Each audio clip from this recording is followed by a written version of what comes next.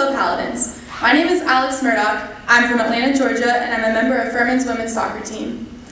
My favorite show is The Office. I'm often caught hitting the whip around campus. I love to cook and travel, and I have a passion for helping others.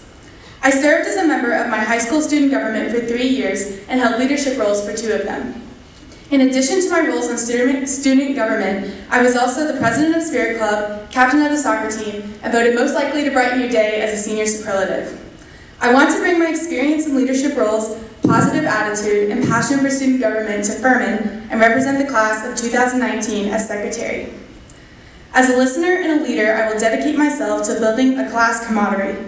There are 709 of us in the class of 2019, and we are all selected to attend Furman based on our unique individual talents and qualities. These talents and qualities are all diverse across our class. In order for student government to be effective, different voices and opinions must be heard and recognized. If elected to be your freshman class secretary, I will work to build a cohesive freshman class that represents our diversity. Once again, I'm Alex Murdoch. Thank you for your time and consideration.